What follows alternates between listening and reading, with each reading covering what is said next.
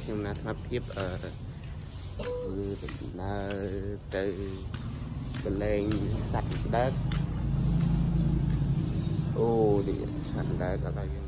ឥឡូវយើងយកសัตว์ដើកទៅបលែងក្នុងស្រះហើយ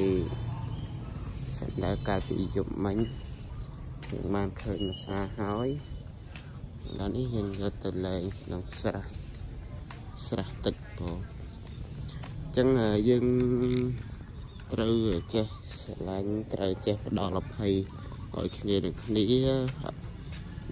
ឃើញសត្វចេះតែផ្ដល់ជីវិតឲ្យគ្នាបង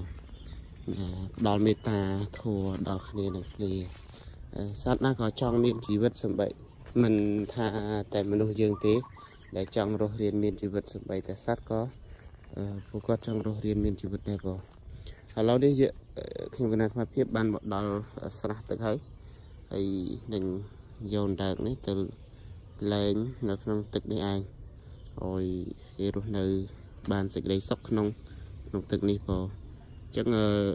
សូមញាតិញោមទាំងអស់គ្នាទស្សនានៅការប្រឡែងសត្វដើកនៅពេលនេះពេលព្រឹកបងពេលព្រឹកព្រលឹមម៉ោង7:07ហើយ ប៉ុន្តែដូចជាស្រឡះល្អណាស់បងទីធ្លាក្នុងវត្តនេះគឺពេលព្រឹកព្រលឹមស្អាតមែនតើនៅនេះគឺស្រះទឹក ក្នុងវត្តសីក្រោកនេះតែម្ដងអូអូអត់ fucker អូសាន់ដើកនេះប្រហែលជាចិត្តកន្លះគីឡូដែរបង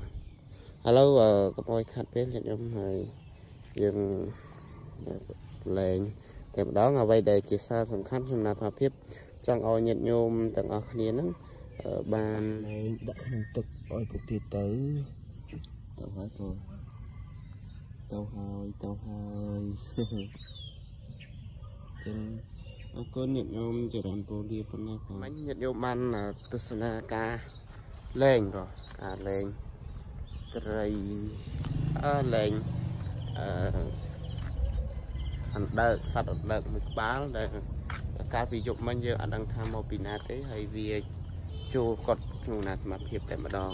ណាតែឥឡូវនេះយើងបានលែងរួចហើយខ្ញុំក៏បានទស្សនាមកហើយក៏អញ្ចឹងបាទពលទៀតខ្ញុំប៉ុណ្ណេះក៏